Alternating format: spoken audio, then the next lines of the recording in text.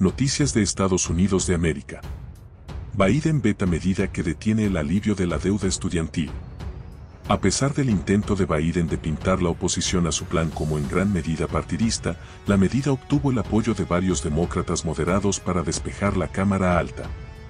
Joe Biden vetó el miércoles un plan para cancelar su plan de alivio de la deuda estudiantil. Biden anunció el año pasado que perdonaría hasta 10 mil pesos en deuda estudiantil para la mayoría de los prestatarios y hasta 20 mil pesos para los beneficiarios de la BICAPAU.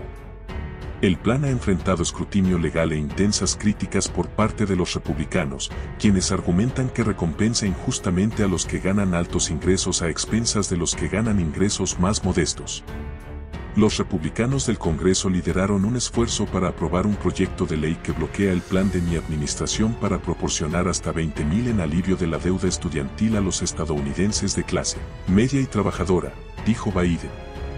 No me retractaré de ayudar a la gente trabajadora. Por eso veto este proyecto de ley. La Cámara liderada por los republicanos aprobó el plan para cancelar el programa en mayo por un margen de 218 a 203 mientras que el Senado lo hizo a principios de este mes por un margen de 52 a 46.